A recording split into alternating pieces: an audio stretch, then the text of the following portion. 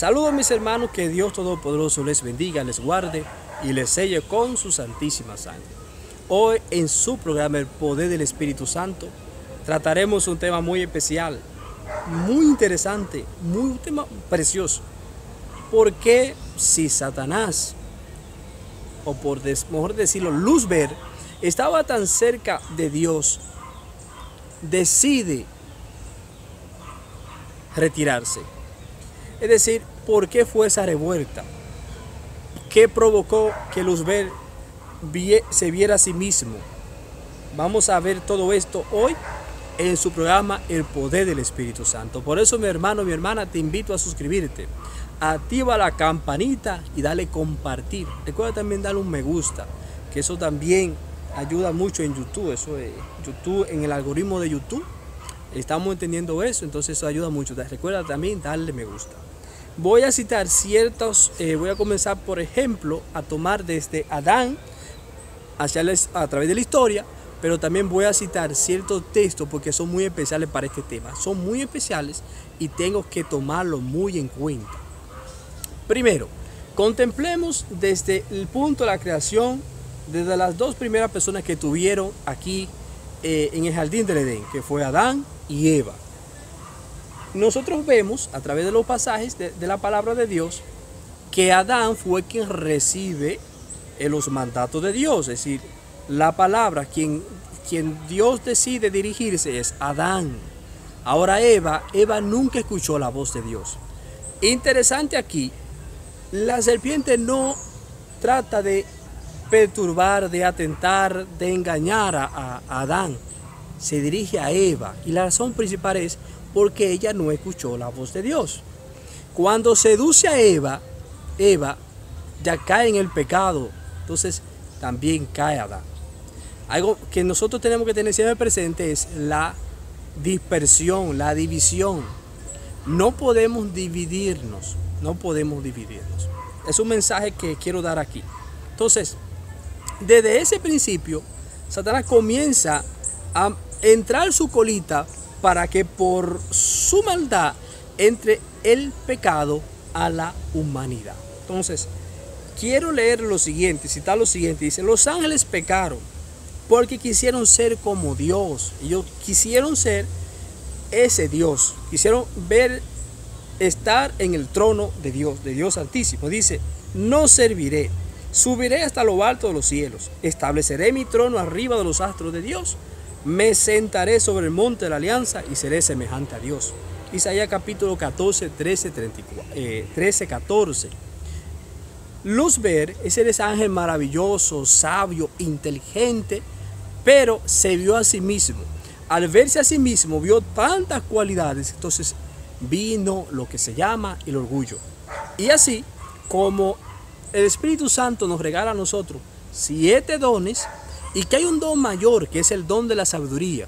Y así como el Espíritu Santo también nos regala a nosotros los doce frutos del Espíritu Santo, pero hay un fruto mayor, que es el fruto del amor. Así también están los siete pecados capitales y hay un pecado capital que es el mayor, que es el pecado del orgullo. Tenemos que tener eso siempre presente, saber eso. Entonces, cito lo siguiente. Tú eres el sello de la semejanza de Dios, lleno de sabiduría y perfecto en la belleza. Tú vivías en la delicia del paraíso de Dios y todo fue empleado para realizar tu, realzar tu hermosura. Luzber es ese ángel primogénito, el más bello, el que tenía mayor inteligencia, el más sabio, quien dio, por ejemplo, quien Dios, por ejemplo, le dio todo, todo a, a su servicio.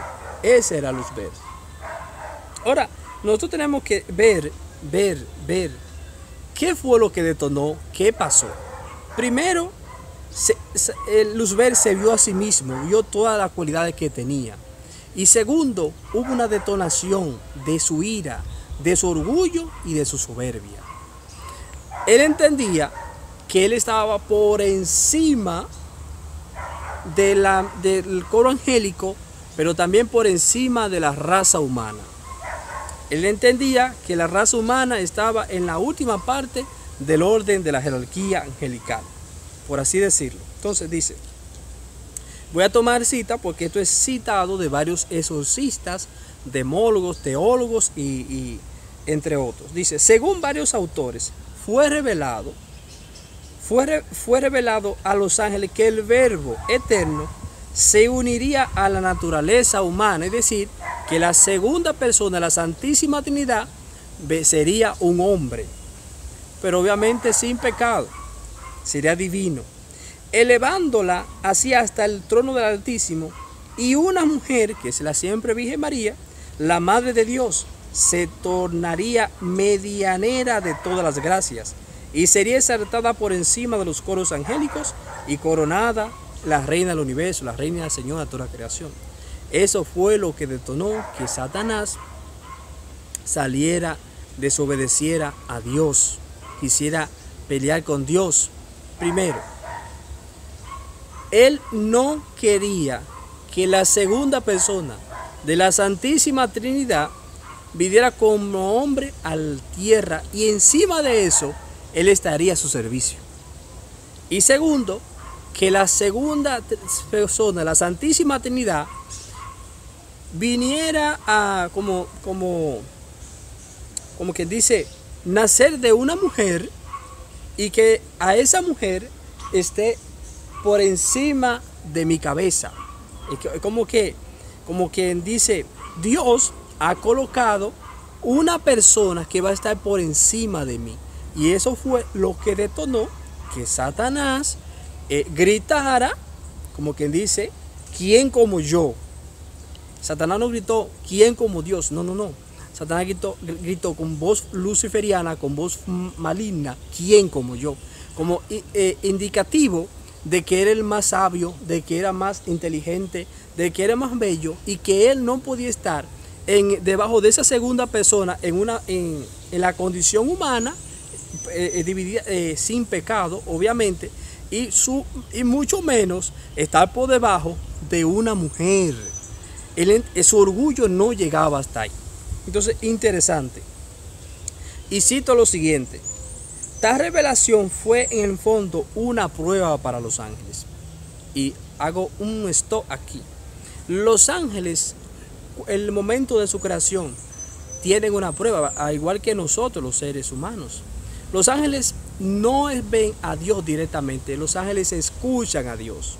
Es decir, los serafines, potestades, dominaciones, tronos, principados, ángeles, arcángeles, no ven en el momento de su creación, tienen un tiempo determinado y en ese tiempo determinado ellos no ven a Dios. Ellos escuchan la voz de Dios, pero no ven la voz de Dios. E igual que nosotros, nosotros creemos en su Eucaristía por la fe. Tenemos fe en que Jesús está ahí, a través de la palabra, muchas veces a través de muchos acontecimientos que hemos vivido y creemos, tenemos fe en eso. Pero los ángeles no ven a Dios en el momento de la creación, ese momento que Dios le da de prueba. Luego ya de que pase el tiempo de prueba, ya ellos sí pueden contemplar, alabar y bendecir a Dios de cara a cara. Que también a nosotros nos, llegará, con la gracia de la Virgen María, de que algún día podamos nosotros también ver a Dios de cara a cara. Y ojalá que Dios nos dé la gracia de ni caer en el purgatorio y mucho menos caer en el infierno. Bien.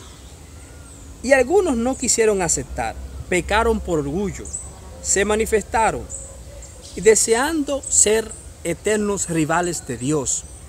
Cuando el ángel detona al ver esta noticia, se enfurece en contra de Dios.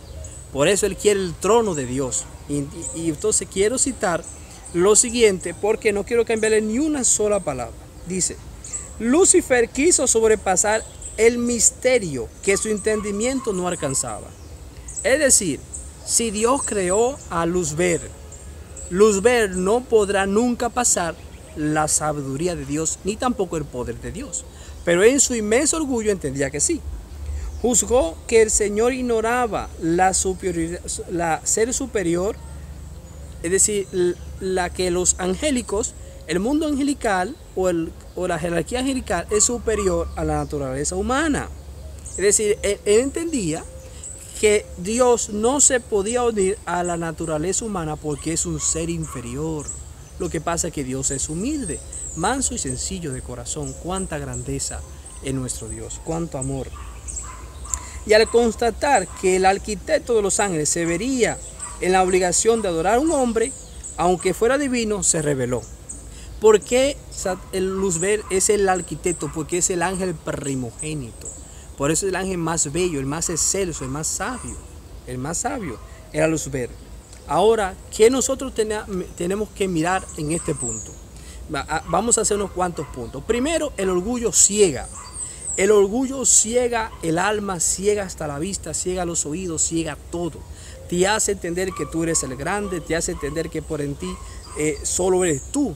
Y lamentablemente eh, también más adelante hay una pregunta, pero es al final, hay una preguntita. Pero el orgullo ciega a la persona, radicalmente ciega, la ciega cegada. Y dice, así como observa San Bernardo, aquel que de la nada fuera sacado, comparándose lleno de altivez, pretendió robar lo que le pertenecía al propio unigénito del Padre. Es decir, el mismo mal, Satanás, Lucifer, la serpiente antigua o el acusador, como muchos libros se le menciona, él quería robar lo que es del Hijo de Dios, el primogénito de Dios. Es decir, tanto amó Dios al mundo que Dios, ¿a quién fue que envió para salvarlo? No fue un ángel, no fue, no fue su mismo hijo, envió a su hijo Jesús. Jesús, el único que tiene el poder, tuvo el poder, la potestad de abrir los siete sellos, fue el Cordero inmolado. Es Jesucristo nuestro Señor. Ahora, nosotros tenemos que siempre eh, observar a través de la palabra de Dios que siempre Dios nos invita al amor, al amor. Por eso Satanás odia a la Virgen María, porque él es orgulloso, la Virgen María es humilde, él odia y la Virgen María ama. Por eso a Satanás no le gusta el rezo del Santo Rosario. Satanás no quiere saber de la iglesia católica porque es la verdadera iglesia de Cristo. Al primero que Satanás va a atacar en la iglesia es por, un orden jerárquico. Primero que va a atacar es al Papa Francisco y, y después va bajando. Puntos importantes que Satanás ataca, la familia. Satanás quiere destruir siempre la familia. ¿Por qué?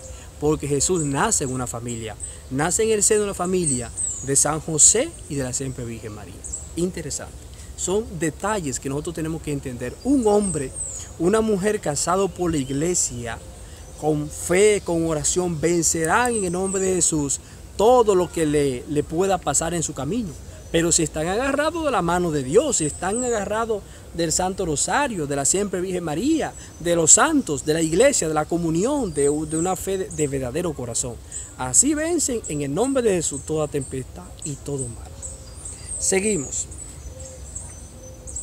Por eso, entonces vemos que como Satanás grita, ¿quién como Dios? Entonces San Miguel grita, con una voz revolucionaria, ¿quién como Dios? Y grita tres veces. Entonces una parte de los ángeles, de los serafines, decir, los nueve coros angelicales, gritan quién como Dios, mientras que una tercera parte, una tercera parte, eh, se van a apoyar a, eh, a en ese momento o a Satanás.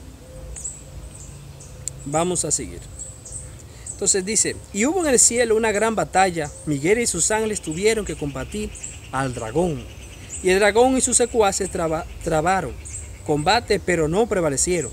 Y ya no hubo lugar en el cielo para ellos. Apocalipsis 12, versículo del 7 al 8. Eso lo vemos muchas veces también en los exorcismos, que los sacerdotes exorcistas eh, recalcan siempre porque el exorcismo lo dice, lo establece, como refrescar en la memoria ese demonio que Él perdió en el cielo y que perdió aquí en la tierra por medio del sacrificio de nuestro Señor Jesús. Eh, bueno, eso no lo voy a decir aquí, pero está bien. Pero nosotros siempre tenemos que tener una pregunta, una cuestionante. Nosotros actuamos como orgullo, actuamos según los pensamientos nocivos de Satanás. Tenemos que tener esa pregunta y reflexionar sobre eso. Vamos a seguir.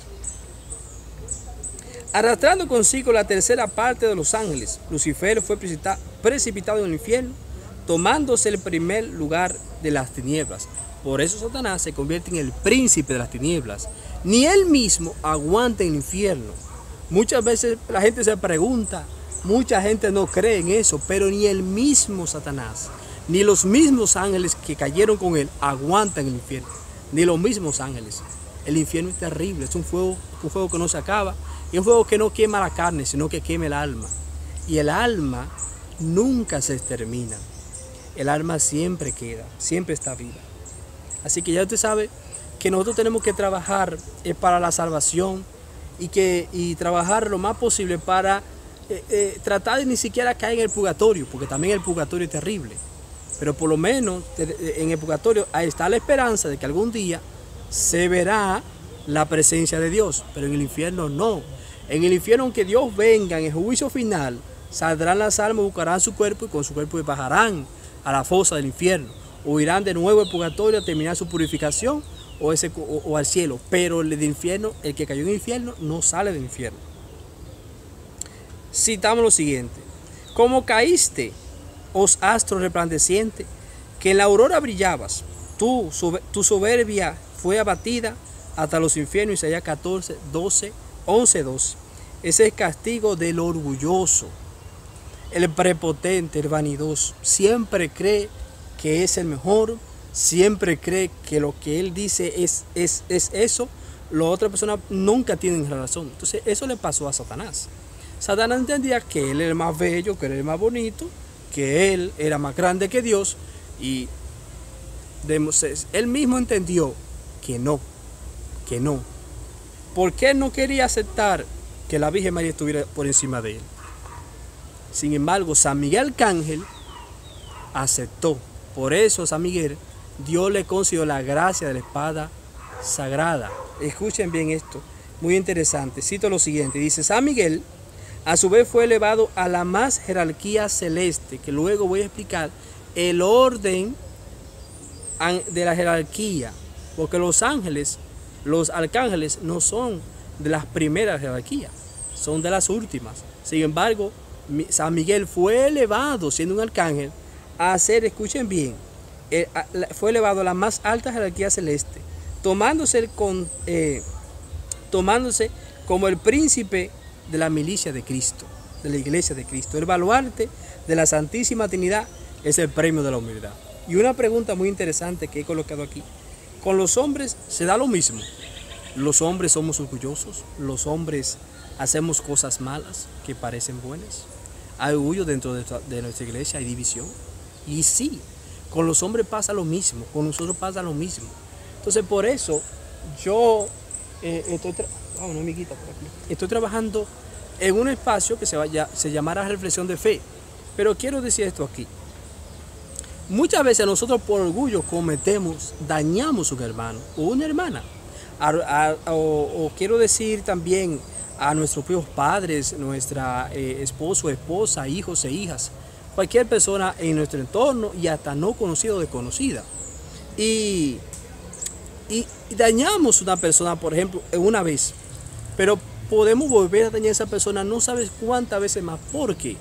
Porque nosotros no tomamos un tiempo para reflexionar lo que estamos haciendo, si está bien, a la luz del Espíritu Santo, no a la luz nuestra, sino a la luz del Espíritu Santo, hablar con Dios. Por eso es muy importante tomarse un tiempo, que sea de una hora en su casa o visitar Jesús Eucaristía y pensar, reflexionar en eso que yo hice que está mal. ¿Cuántas veces escucho personas que me dicen, yo no quiero ya pertenecer a la iglesia católica porque un sacerdote le dio un boche? Pero ah, yo le digo, el problema está en que fue el sacerdote que le dio el boche, no fue Dios. Y si es Dios que le da, eh, eh, y Dios no le va a dar el boche, Dios le va a corregir. Por lo tanto, usted no se puede salir, no puede dejar la iglesia de Cristo por un hombre por una mujer. No, no, no, no. Usted no sigue el hombre, usted sigue a Cristo Jesús. Entonces nosotros en algún momento hemos sido orgullosos, hemos sido altaneros prepotentes, hemos sido vanidosos en algún momento. Pero Dios nos da la gracia a nosotros de reflexionar lo que hacemos, de meditar lo que hacemos. Eso está mal, debo de pedir perdón, eso está mal, yo debo de trabajar para no volverlo a hacer. Por ejemplo, hay personas que en un momento te dan la mano, pero en otro momento te dan una puñalada pero nunca reflexionan que te dieron la mano, pero no reflexionan tampoco que te dieron la puñalada. Si yo, por ejemplo, cometo algo en contra de un hermano o una hermana, me puedo equivocar, puedo equivocarme, pero porque eh, no soy perfecto. Pero tengo la gracia que Dios me da, si yo quiero, obviamente, si yo lo aprendo, si yo lo busco, si yo lo practico, de reflexionar, sé en mi casa eso que yo hice. El libro de Eclesiastes, el libro de sabiduría, el libro de proverbios, son libros que te ayudan mucho en la vida día a día. Yo no puedo enojarme con un hermano, con un amigo mío, porque tengamos eh, eh, pensamientos distintos. Porque usted piensa de esta manera yo de otra. No, cada quien tiene un carisma. Por eso es que existe la envidia. Y por eso es que hay personas, por ejemplo, voy a tomar este ejemplo que se da mucho. Y es, si tú no haces o, bueno, yo un día estuve en una prédica de alguien, quiso decir como que que no estaba frío con él, estaba mal. Yo dije, eso está mal, que está mal esa persona.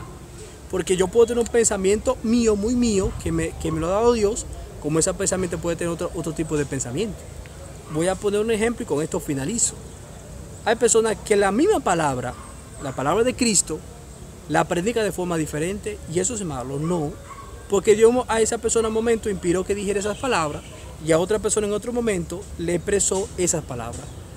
Es la gracia de Dios. La, usted va, puede ir un día a dos misas y en dos misas usted va a encontrar eh, prédicas diferentes, aunque sea la misma palabra. Entonces, nosotros debemos de vaciar el orgullo, llenarnos del amor y de la humildad del Espíritu Santo, de la Virgen María y de todos los santos de Dios. Por eso siempre es bueno rezar mucho, vivir en amistad con Dios, con la Virgen María. No tema la soledad. Pero eso lo voy a hablar más adelante. Que Dios Todopoderoso les bendiga, les guarde. Recuerda, suscríbete, activa la campanita y comparte. Estoy subiendo unos vídeos de Padre Fortea. Aprovechen, son unos vídeos muy intuitivos y muy importantes. Que Dios les bendiga y les selle con su sangre. Chao.